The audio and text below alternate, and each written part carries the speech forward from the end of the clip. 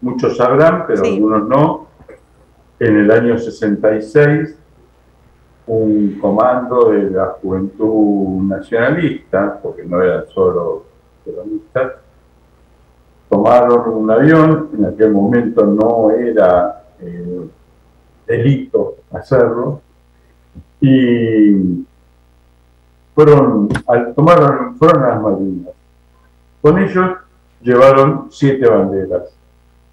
Ahí está marcando el rumbo. Este, es más, la, ironía es que cuando estaban a la altura de, Malvinas, la única mujer del operativo, que era María Cristina Barrier, empieza a hablar, a charlar con el gobernador de facto en ese momento, que era un contraalmirante Guzmán, que estaba, iba rumbo a Ushuaia, ellos no lo sabían eso, pero bueno, se pone a charlar y le dice, sería lindo ir a Malvinas, le dice ella, y él responde, es un sueño que tengo.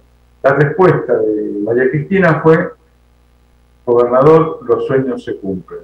Bueno, así fue que, fueron a Malvinas con siete banderas, una la pusieron en un poste y las otras sobre el avión que ahí aparece, sobre algunos coches, y las mantuvieron estilizadas durante 36 horas hasta que cuando vieron que no había ninguna condición, eh, bueno, se entregaron, fueron presos, pero eh, los Kerpers y los soldados ingleses se querían quedar con las banderas, ellos no se lo permiten, y, se la llevan.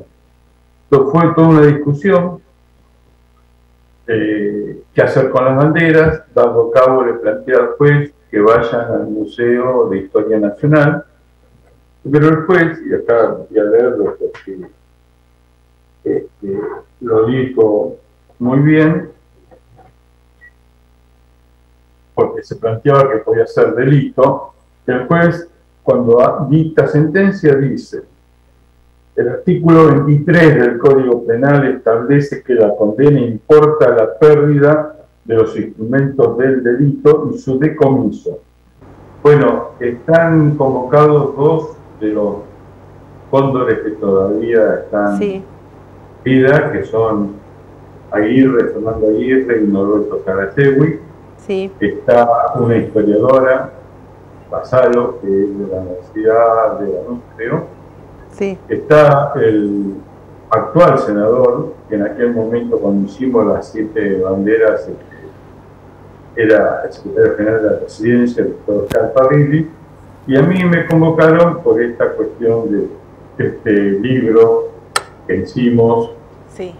Yo acá agradezco profundamente a la imprenta del Congreso por la lectura del libro que han hecho. Y aparte quiero agradecer al actual ministro de Cultura, Tristan Bauer, porque él fue el que prologó este libro. Malvinas no tenía, por eso ahí aparece la rueda enterrada, no, no tenía aeropuerto. Ah, bien. Ellos aterrizaron en una eh, pista de carreras cuadreras, de, que era de 500 o 600 metros, así que le costó muchísimo a los pilotos hacer ese, esa maniobra. Del avión nosotros lo buscamos y tenemos entendido que después fue eh, enviado a Perú y ahí fue desguazado. Así que el avión, ese avión lo perdimos. Nosotros logramos recuperar un avión anterior que había viajado en 1964 con otro patriota que se llamaba Fitzgerald, que decidió en un Piper, en un avioncito, este, ir a Malvinas, aterrizar en esa misma pista de carreras cuadreras, dejar una bandera, dejar una proclama y volverse. Tuvo 15 minutos. Eso fue en el año 64. Nosotros logramos recuperar ese avión y actualmente ese avión se exhibe en el Museo de las Islas Malvinas en la ex